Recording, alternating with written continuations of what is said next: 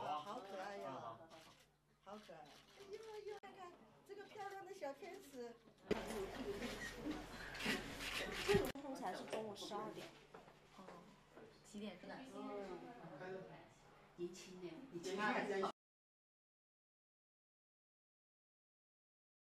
那我们就是告诉老百姓，你们可以放心，试管婴儿技术没有增加孩子的出生缺陷，他们跟正常人一模一样，啊，可以啊很好的读书，啊这个读大学，啊身体很好，还可以谈恋爱，还可以结婚生子，生出来孩子也很很漂亮。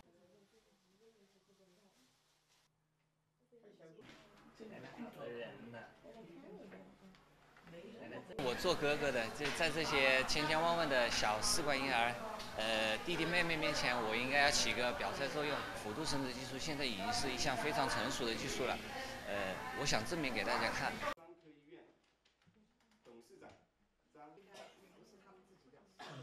第二胎现在我们做的很多的，他们四十岁以后，我们就进行了这个植入前的遗传学筛查，就是妊前诊断。啊，我们给他的就是个好孩子，而且这个技术在应用过程中现在越来越成熟。